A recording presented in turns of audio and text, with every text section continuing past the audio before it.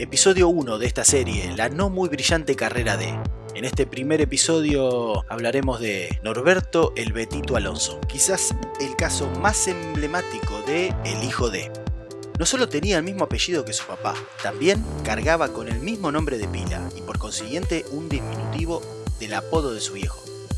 Además jugaba de 10 en las inferiores de River, eh, no le faltaba nada para fracasar. Norberto Alonso, pero no el Beto con quien ya hablamos, sino el hijo, Norberto el Betito Alonso. Por el año 93 le ibas a pegar en un tiro libre. Y escuchaba a la gente, dice, uh, este es el hijo del Beto, este es el hijo del Beto, el hijo del Beto, bueno, vamos a ver. Y le pegaste al tiro libre y la pelota, no sé, fue a parar tres metros arriba del travesaño, como puede pasar, y ya empezaban a decir, ah, este no es como el viejo. Digo, qué jodido, eso te abre puertas, pero también tenés una mochila recontra pesada de que sos el hijo del Beto. Y si no sos un fenómeno como tu viejo, sos un fracaso. Eh, ¿Cómo sentías vos este peso? Yo lo padecí muchísimo eso.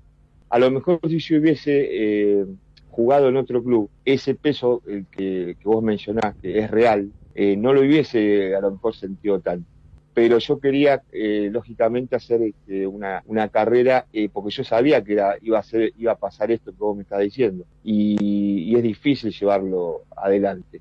Llegó a integrar una selección argentina sub-17 y se decía, allá por comienzos de los 90, que pintaba para crack. Los argumentos por supuesto eran endebles. El chico jugaba algo pero no tanto para bancar semejante historia. Debutó en la primera del millonario en la última fecha del clausura 95 cuando Carlos Babington lo puso de entrada en el partido que terminaría con una derrota 3-1 ante Vélez. Un par de semanas más tarde tuvo su despedida de la máxima categoría, con Ramón Díaz como entrenador.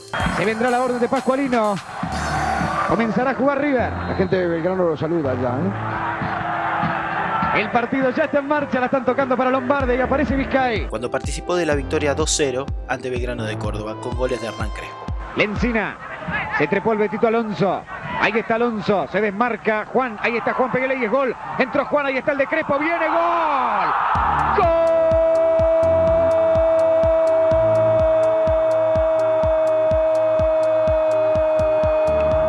de River. Hernán Crespo a los 19. River 1, Belgrano 0.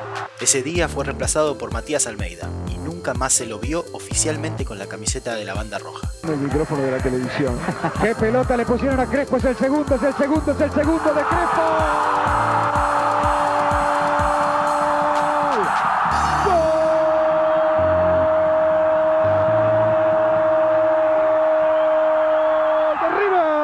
Después de la pelota de Riep, la definición de Crespo y el segundo. River 2, Belgrano 0. Vos debutaste con Babington y te fuiste con Ramón, ¿no, Betito? Estaba empezando Ramón. Claro. Fue una decisión personal. No, es que, tuvo algo que ver Ramón ni Pasarela. Al contrario, Pasarela, Pasarela me lleva a mí una pretemporada en el año 94. Después él se fue a la selección, a dirigir la selección, Daniel. Arrastrando la mochila, donde tenía un recorte de la revista El Gráfico con un título de su papá que rezaba Mi pibe la rompe, buscó nuevos horizontes, pero no encontró nada mejor que la primera D, donde actuó para Fénix en 1996 y 97 y Ferrocarril Urquiza en 1997-98, sin demasiado suceso.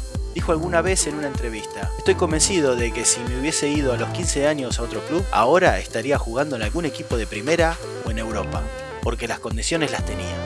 Me duele por mi viejo, sé que lo defraudé.